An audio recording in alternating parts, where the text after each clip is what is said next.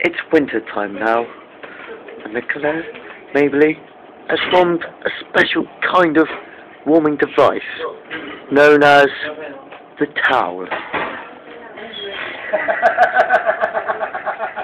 She's been in that position for almost an hour and a half now. No one should really approach her as no one is quite sure how she will react. Anyone could hope there will not be any offsprings this winter. Otherwise, there could be riots. But luckily, a local boy, he's really dicing with death now. Now, this is a rare sighting now. This is very rare. People actually looking after Claire.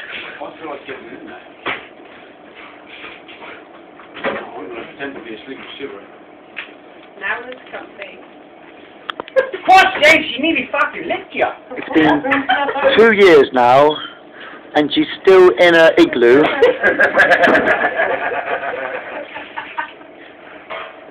I've seen the chimney lit twice now, and it hasn't been a very pleasant smell.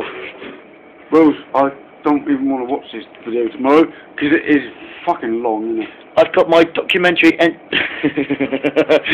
I've, got, I've got my experienced cameraman here, Charles. Charlie, what what do you make of this? Um, green pastures.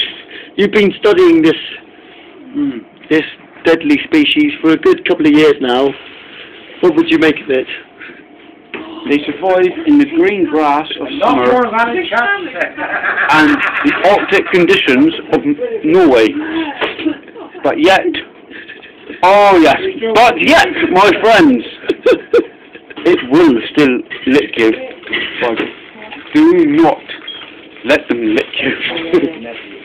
They'll survive of pastures green and the coldness of Antarctica. But whatever happens, do not let them lick you.